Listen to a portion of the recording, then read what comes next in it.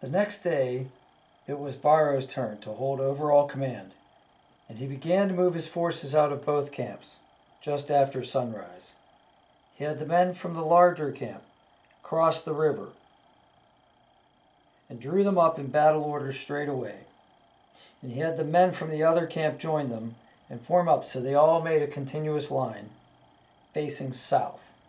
He posted the Roman cavalry on the right wing, directly by the river, next to the infantry and in a straight line.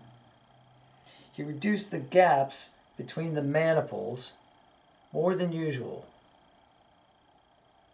and increased the number of ranks within the maniples until their depth was several times greater than their length.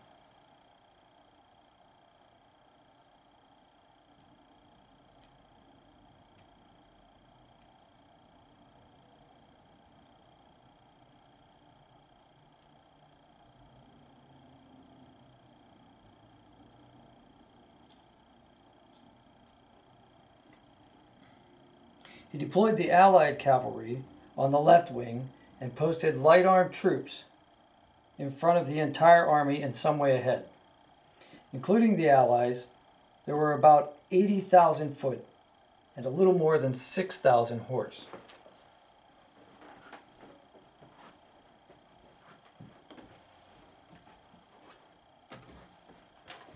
Meanwhile, Hannibal sent his Balearic slingers and his spearmen across the river to take up a forward position.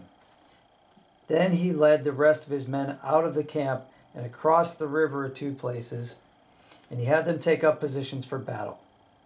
On the left wing by the river, he posted the Iberian and Celtic cavalry facing their Roman counterparts.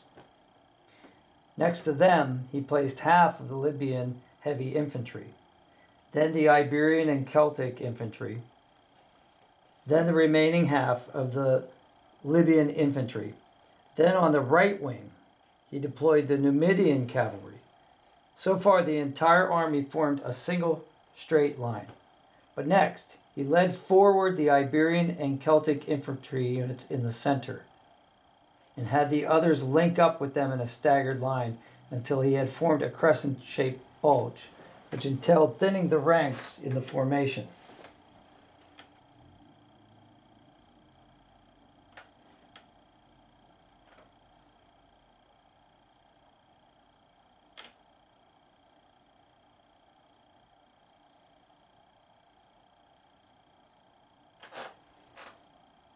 His intention was to keep the Libyans in reserve, with the Iberians and Celts bearing the brunt of the fighting.